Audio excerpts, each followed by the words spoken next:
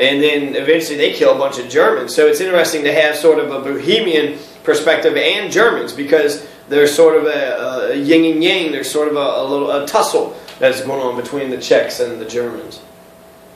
So so my own development by explaining all the, the you know my blood and my ancestry, you think none of that would have spurred any type of conversation? Nobody would have said, you know, oh I'm from this or I'm from that. But no, there wasn't enough time, there wasn't enough silence, there wasn't enough space for motherfuckers to join in the conversation, which would have been a good conversation if the, the warm up would have been allowed to have been said, but she didn't want to say it because she's a white American. She's already erased her fucking history. Who gives a fuck where the fuck she comes from? She's a white woman. 75% of the education system's white women. And, you know, even the Ku Klux Klan fought for white women. So when I got robbed and she didn't blink, you know, does that mean she never been robbed? Does that mean she never had any fucking struggle? I think so. I think she's had an easy fucking cupcake existence. And instead of helping other people to have an easy cupcake existence. She just wants to be a fucking Nazi and to oppress and, um, and to molest, to, to manipulate the, the children the way that she does. She's setting up all the children to be manipulated for the rest of their lives. She's not equipping them to be strong. She's not even teaching them U.S. history.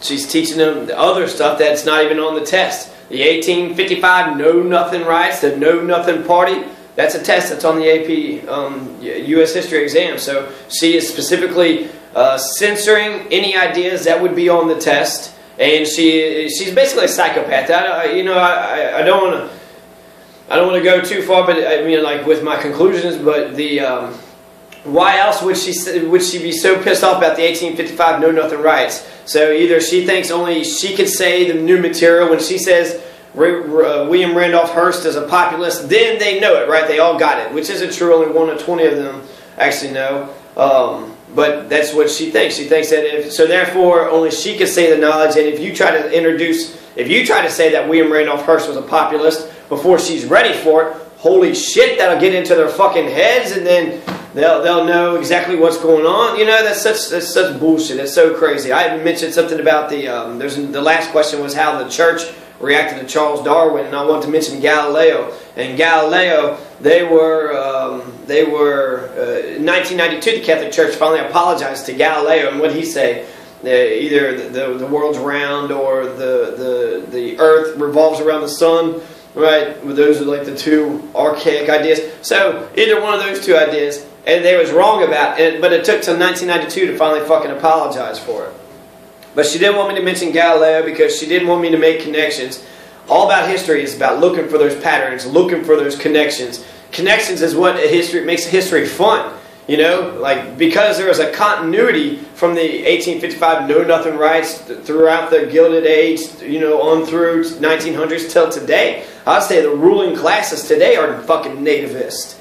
They're fucking white Anglo-Saxon um, Protestants who uh, are part of the ruling class and they hate anybody that's different than themselves. So, you know, they're pro Baptist, anti Catholic, and anti everybody else. I would say a lot of the Germans and Irish have been um, adopted into um, into the thing. Why is there so much noise? Why, what's happening? Yeah, so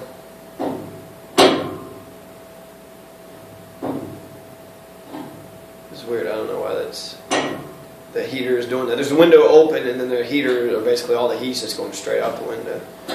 Um, so yeah, why didn't she want to know about the 1855 Know Nothing riots? Because she's a fucking wasp. She's a white Anglo-Saxon Protestant and she didn't want to show how big of a fucking racist she actually is. She wants to conceal that fucking racism. No, I don't believe it's her class, so she's a fucking Nazi. She didn't want me to say something. She wants to be able to censor and fucking chop up any fucking thing I might be able to say, you know, jump in front. But when you do that, then I'm not fucking liberated, and I'm an American, and I'm going to say what comes to my mind anyway, so that way it's fucking flowing and it's, you know, going smoothly. Um, but what it feels like to me, it feels like when I was a child. You know, go go split that fucking go split that wood over there. All right, I go split the wood. Well, you didn't split it right. You split it all wrong. How come you can't split this wood? You got to split it differently. Do it some other way. You know, make sure make sure you get the big, hard, knotted wood. Make sure you split those woods too. You can't just just don't do the easy stuff. And then it's all spread out everywhere. Would you spread it out just to try to make it look like you did a whole bunch? No, that's bullshit. Stack it up, and then you'll see that it wasn't much at all. And um, And so uh, basically, once you agree to the first fucking obedience, once they said, okay, go fucking split that wood, then you're just up to fucking getting beat up, browbeat the entire fucking time you're doing it. You didn't split the wood right. You didn't do it right. You ain't um, stagger right. Now you need to put it in the fucking truck. What the fuck is the matter with you? Don't you know what the fuck you're doing? And then I split the fucking wood like you fucking told me, but everything else is going to be shitty. You're not even paying me for this. I'm not getting a fucking penny for any of this.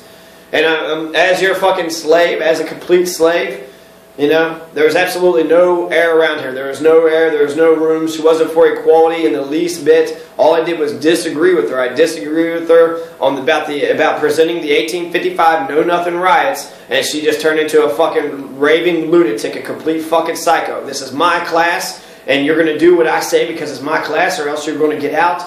And I was like, well, I mean, I don't think this is working because you're wrong you're wrong. You're telling me not to do this, to say this, but it's it's it's part of the test, part of the AP exam. You're wrong, and um, and I'm not allowed to say that. I'm allowed. I gotta just let a fucking person just be completely wrong in the whole time. And really, you know, it wasn't like I'm being a contentious person. I was there for three days, and I went along with everything she had said before. Um, but it, but this this was just something.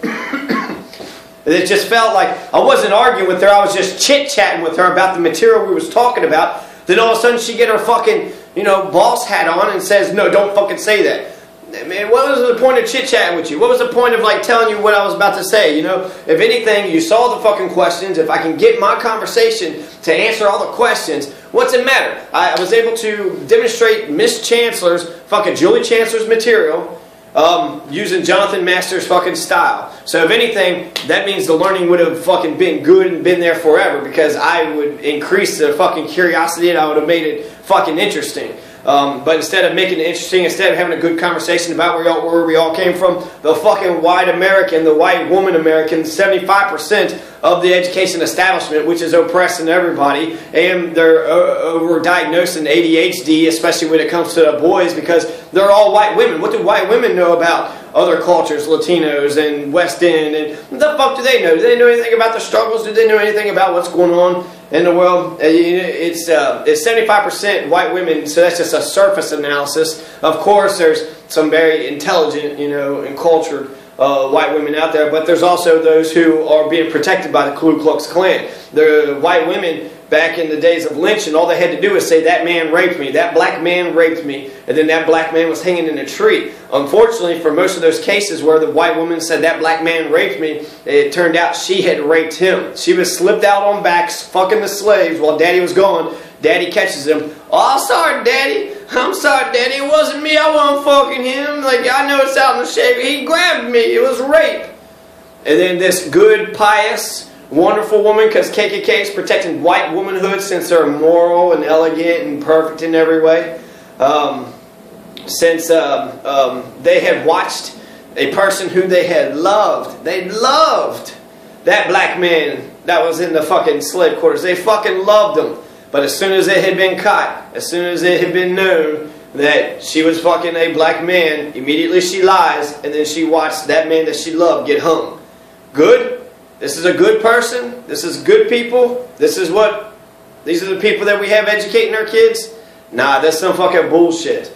Um, I believe in equality, okay? And I don't, I don't know of many people who actually believe in equality. And equality comes in two different ways. Either there's a give and take, or I'm completely free and you're completely free. And it works out. It somehow works out because I'm able to do what I can do to the best of my ability. You're able to do the best of your ability. And as long as we're doing our best, best and there's synergy there.